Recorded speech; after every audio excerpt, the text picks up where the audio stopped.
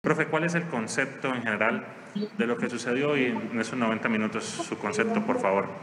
Bueno, buenas noches a todos. Eh, a ver, voy a tratar de tener cuidado con lo que digo. Yo creo que el equipo hasta el minuto 27, cuando recibimos la expulsión, era superior al Nacional en el juego, en el control. Tuvimos llegadas, dominamos al rival. Y después en el minuto 27 pasa algo que no, la verdad que yo como entrenador no lo puedo entender. O sea, eh, yo estaba un poco sorprendido porque la verdad que el mismo árbitro que nos dirigió hace siete días nos vuelve a dirigir y en ese momento también nos expulsó un jugador. Y no me gusta hablar de los árbitros, pero lo tengo que hacer, porque yo creo que los jugadores míos estaban muy bien, eh, haciendo un gran esfuerzo, superando al rival, y una jugada que no es para expulsión porque la volvimos a ver. El jugador tiene que apoyar el pie porque ¿cómo hace si no? ¿Cómo hace si no apoya el segundo pie? Y, y encima lo que me sorprende es que hay bar. Eso es lo que me sorprende. Porque si uno nos dijera no hay bar, bueno, puede quedar la duda. Y ya ahí te condiciona. Hoy en el fútbol jugar con un jugador menos 70 minutos es mucho. Eh, y esto no es una excusa ni nada. Lo único que yo tengo que a decir es que mis jugadores, la verdad, son unos leones. Eh, creo que teniendo un jugador menos, si bien no tuvimos la disposición, tuvo que ser otra. El rival casi no nos pateó el arco.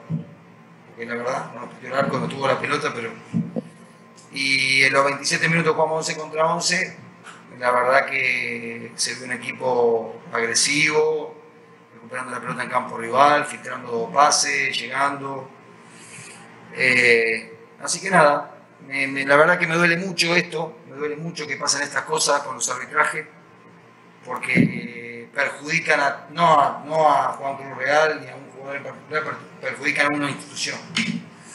Yo no sé si es que estamos un poco nerviosos con todo esto que viene pasando últimamente en el fútbol colombiano, pero a mí me parece que tenemos que tener cuidado, porque esto hace de que uno tenga aún más desconfianza las cosas que pasan de todas maneras, es una eliminatoria abierta, es un partido de 180 minutos. Esto es lo mismo que estar en el primer tiempo y perdiendo 2-1.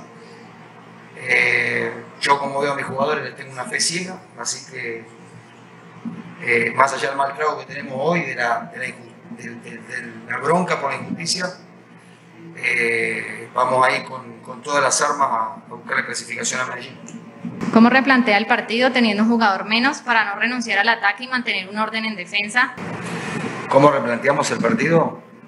Bueno, como se vio, ¿no? Ya obviamente que al tener un jugador menos no podés hacer la presión colectiva que, el equipo generalmente hace en campo rival y que hasta el minuto 27 lo venía haciendo muy bien. Y ah, un, un, jugador más hoy en el fútbol es mucha diferencia con, en esta instancia.